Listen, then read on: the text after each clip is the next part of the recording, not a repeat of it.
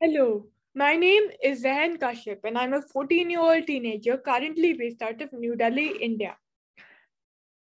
I'm a passionate and focused student who represents the growing population of students worldwide who have special needs.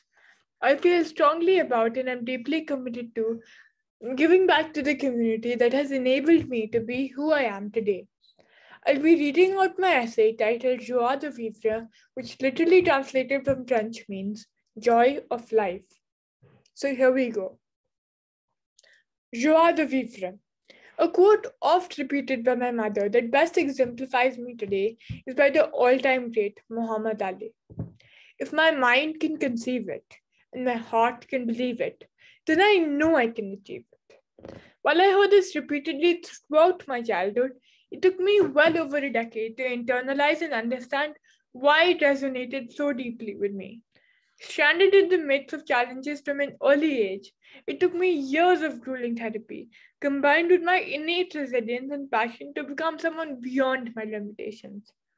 To give you a perspective, I was born extremely premature with a condition called periventricular leukomalacia, PVL, a form of cerebral palsy. Handing over a bleak medical diagnosis, the doctors informed my anxious parents that I would never be able to sit up and would be lucky if I had a vocabulary of 400 words. Such a limitation wouldn't even allow me to write 10 different phrases, let alone encapsulate my life in this essay. Yet, fighting all odds, I somehow managed to exceed everyone's expectations as each year passed. When I was merely seven years old, I had a major leg surgery, after which I had to learn to walk all over again. I can vividly remember the days preceding the surgery. It started out as a regular week. Like any seven year old, my eyes were glued to the television screen when my mother came in to talk to me. As she broke the news about my upcoming surgery, she commended me for being brave and explained how my gait would improve tremendously as a result of the surgery. Oh, this is so cool! I'll probably get chocolates and gifts as a reward for being brave, was all I thought, blissfully unaware of what lay ahead. While my parents tried to explain the nuances of what, what was coming, I honestly did not fully comprehend what was happening. Looking back, I even remember enjoying being wheeled into the operating theater. Yet, as soon as we entered the, the sterilized room, I distinctly remember the fear that suddenly struck my heart, realizing I was without my parents in a room full of strangers. Before the fear could take hold of me, the anesthesia calmly put me to sleep. When I woke up, aside from a dull ache in my left foot, the epicenter of my surgery, my legs were completely numb. The six months following my surgery were by far the toughest time I have ever endured in my life. Initially, with a prolonged leave from the monotony of school, I was eager to receive friends and family laden with gifts. Even when I commenced school, a few months later, the novelty of the situation did not wear off, as I was wheelchair bound and surrounded by friends and classmates wanting to write in my cast and wheel me around school. In fact, I felt like a major celebrity with the power to pick and choose who would get to write on my cast. Soon, my physiotherapy session started, and that was when my problems actually began. I had to relearn to walk one painful step at a time all over again. I've had delayed milestones all my life, and a different gait too. But I was oblivious to it. After all, that was the only way I knew how to walk. However, this was an entirely new ballgame. Even though it sounds simple at the forefront, unlike my peers, my foot did not go in front of the other in a nonchalant rhythm. As I endured the pain, the negativity sprouted, sprouting inside me spread beyond the session. I hated my parents for making me go through so much pain, and most of all, I hated my body. Feeling trapped in my own body, I couldn't stand the pain of doing therapy every day while my friends romped and played. to rub salt in the wound. Despite all the pain and hard work I put in, there was no perceptible difference in my walk. As time passed, even the excitement of writing on my cast gradually wore off with my peers. For the first time in my life, I hated being different. Trapped within my body, I was tired of kids walking up to me to ask why I couldn't walk, or worse still, be at the receiving end of the look and look away glance.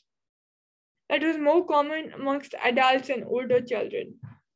Unable to express my frustration with my therapist and teachers, I channeled my anger, burning imaginary holes in the walls and floors I silently stared at. With my parents, however, my aggression knew no bounds. I raved and ranted, blaming them for my predicament with increasing vengeance. My frustration overflowed into breakfast one day with my visiting grandmother. I passionately described my disappointment about fighting a losing battle and the unfairness of having parents who forced me to continue with a painful therapy that was not helping me walk. I couldn't help but despise the circumstances that led me to this point and made me believe that I could never walk again. In response, my grandmother simply quoted Henry Ford Whether you think you can or you think you can't, you're right. Taken aback, I stopped midstream. Was I indeed living a self fulfilling prophecy or being trapped? After hitting rock bottom, did I stand to lose anything by changing my vitriolic outlook? I decided to take baby steps and began approaching my therapy with the assumption that I would overcome my limitations, setting small goals. I redefined what success looked like every day. One, one small step till the adjacent wall, till the door, till the gate, climbing one staircase, navigating one classroom, keeping count of my victories. I celebrated the positive momentum that helped me eat the proverbial elephant in bite sized pieces. After hundreds of hours of perseverance, I, I was walking on my own with the wheelchair no longer in sight. As my physical proneness improved, so did my confidence. Even though I will never represent my country in an Olympic marathon, I take utmost uh, pleasure in recollecting the memories of my journey and creating a path for the way ahead. Why, with my rage extinguished with time, I can now admit that the push of my parents, without the push of my parents, I would still be lying in bed, trapped in my body. Re- reflecting on every task I undertake, I realize that of all the things I do today are variations of learning to walk again.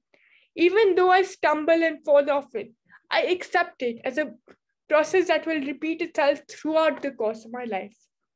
Being fortunate enough to have the recollection of learning to walk again, I not only learned the value of patience and consistency, but also having the right attitude to play the, the cards that life will deal me.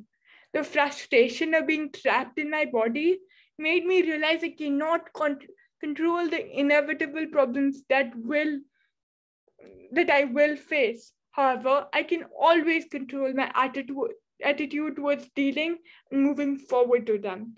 No longer being held captive within the recess of my mind by my attitude, my pristine walls lack any de- evidence of the holes I burnt in my imaginary childhood bedroom those many moons ago.